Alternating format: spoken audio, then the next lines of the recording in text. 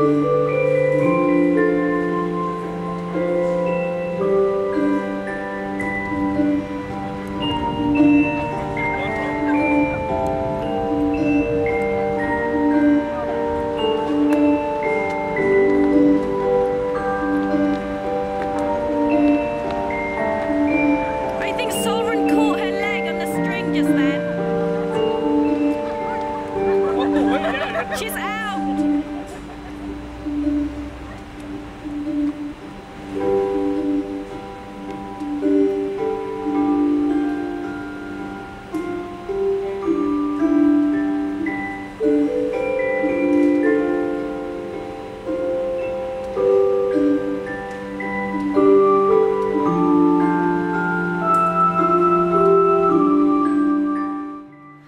Yeah, originally we're, uh, we met up uh, during our uh, year studying in the Reykjavik College of Music and we got together in a string quartet and liked it really much playing together so we played classical music. And then as we uh, did some more work together we, we started doing some studio sessions for other bands or bands in, I- in Iceland, in Reykjavik recording some strings on pop music. And as we kind of established ourselves as a working string quartet, we uh, wanted a name and came up with this name, Anima. It was in 2002 or 3 we decided that Anima was uh, part of the classical uh, past of us, so we wanted a new name. So we switched the letters into Amina with one eye at a time.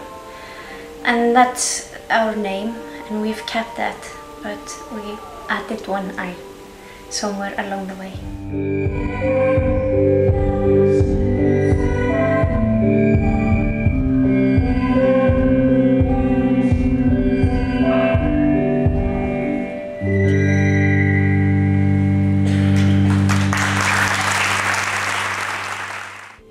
We didn't really start making our own stuff until 2004, so we had five years of working with Sigurós to maybe adjust to the idea that you don't really have to play music from sheets.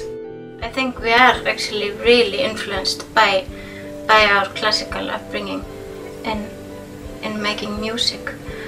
I think uh, I think uh, being with Sigurðs for such a long time, we maybe it opened something up for us because we had always just played classical music and not made it ourselves. And being in this environment, this creative environment, we wanted to try things out on our own.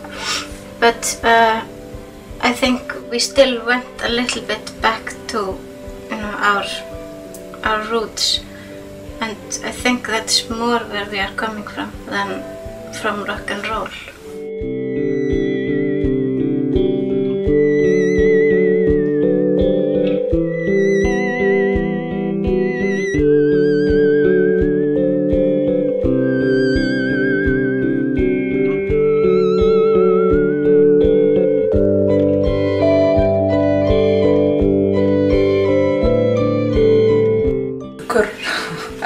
Means um, cooing. Cooing, yeah, like birds, doves do. and we like birds and bird sounds and just the feeling of the name. Originally, we wanted to have um, birds on the photo shoot for the cover art, and we wanted to have live birds. So we uh, were experimenting with uh, what kind of food they wanted, because we wanted to attract them to the to the place where we would shoot, and try and you know catch a lot of birds eating or doing whatever at the at the scene. But then um, none came, and and we had to use stuffed ones instead. Kur was, I think it describes us or what our way of thinking quite well.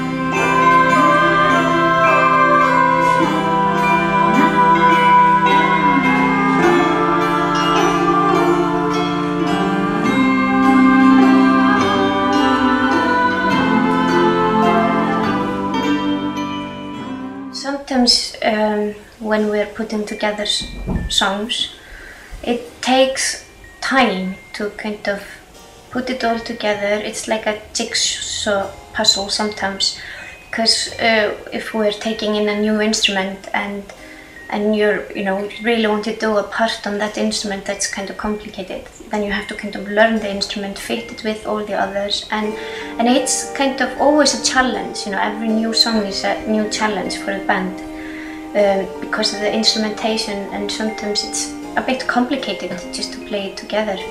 So um, it is in a way crafted and I guess you know our way for example of rehearsing is not the rock and roll way either. It's not like oh.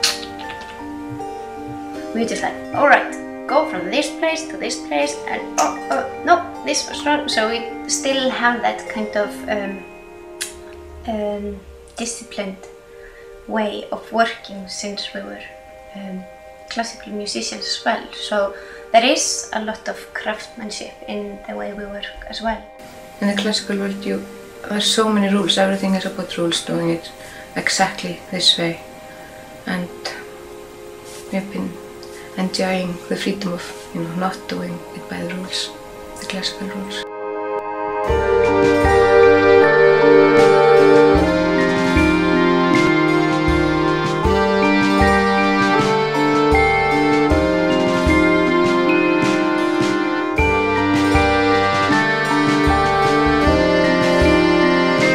We were working on, on the album, we had the feeling that it was just all over the place and none of the songs would actually fit together. But it, yeah, it did come as a surprise when we when we got everything together and, and saw it as a whole that it actually works and, and they actually speak together, you know, within themselves. So it was actually it was nice you know, because we, we were slightly worried.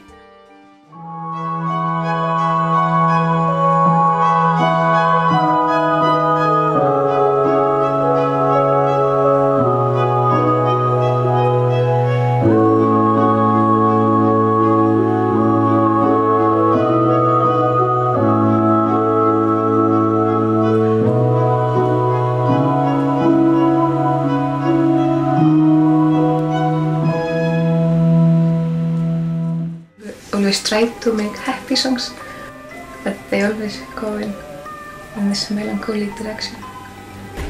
and we've often tried to not do it but um, I think we're just suckers for melancholy in our hearts it's just what comes out I you know I had no idea what what our music would sound like and I, I had I didn't have any preference you know we just started and this is what came out and now we sort of know our sound and maybe you know try to push it to certain directions